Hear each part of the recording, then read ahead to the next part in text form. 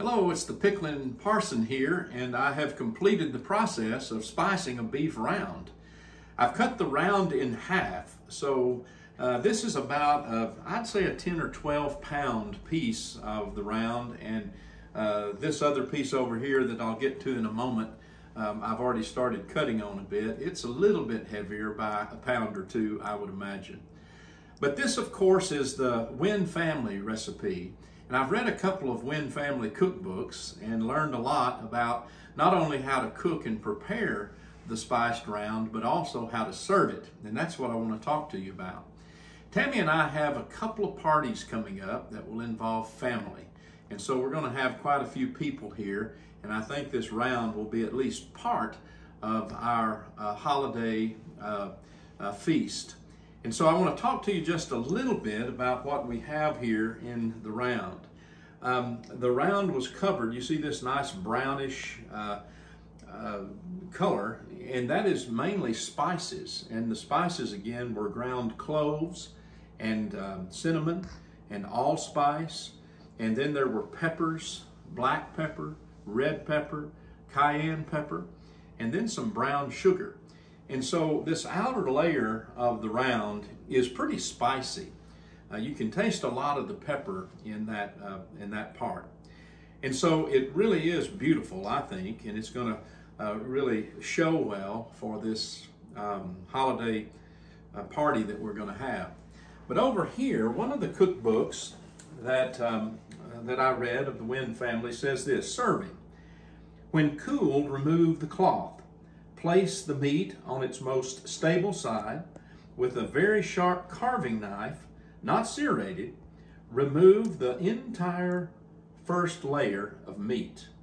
Spiced round should be sliced paper thin and served with cooked salad dressing or homemade mayonnaise on saltine crackers. Decorate with a sprig of holly stuck in the uh, marrow of the bone. Well, I don't know if we're going to do all of that, but what this suggests is that you actually remove that outer layer. And you can see how with the little knife that just, that just cuts off. Uh, and you want to eventually cut the round this way across the grain. So we'll eventually start cutting the round really paper thin like that. And so that little portion of the round would make a a really good bite on one of these saltine crackers. But what I'm doing right now is I'm basically removing the outer layer. Not all of it, but, but most of it. And you see how pretty it's going to be. It appears um, kind of like corned beef looks, kind of a pinkish look underneath that, that brown spiced uh, portion. And oh, is it good. Mm.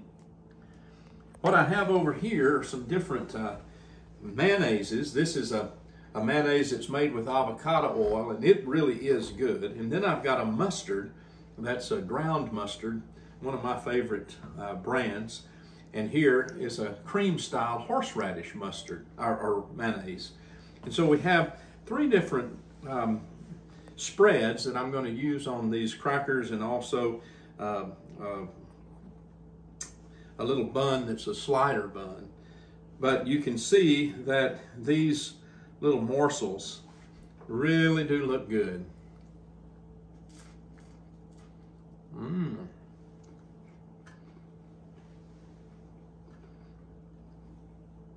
That's good. And that had a little horseradish, this particular one, and it was really tasty. This is what it looks like on a slider. And you could make those up and serve them at the party as well. I'll take a little bite. That is delicious. And that's made with the mayonnaise that's the avocado oil. Now before we get to our party, I'm going to be making some of the Wynne family homemade cooked mayonnaise. Uh, Sissy's recipe is the one I'm going to follow. And speaking of Sissy, Sissy was the one who really put me on to this. And I remember when I first saw that spiced round in her pantry, she shared with me that each of her 15 grandchildren had helped her to spice the round, one grandchild at a time. She would always spice the round and put the round down, as they say, on the Tuesday after Thanksgiving. And she would get one of the grandchildren out of school to spend the day with their grandmother, spicing the round and putting it down in the brine and talking about all of those family stories and what Sissy remembered about growing up. I think that's the most special aspect of cooking. Um, pickling and canning or just getting ready for the holidays with special recipes. When you can connect them to family stories and can share them with the younger ones in the family, that makes all of this extra worth it. So, I'm going to sign off for now. I think I'm going to eat a little bit more of this spiced round for supper tonight, but uh, then I'm going to wrap it up in cheesecloth and dampen it as the instructions say. We'll wrap it up in foil, put it in the refrigerator, and we'll be ready to go next Saturday for our first party. Thank you.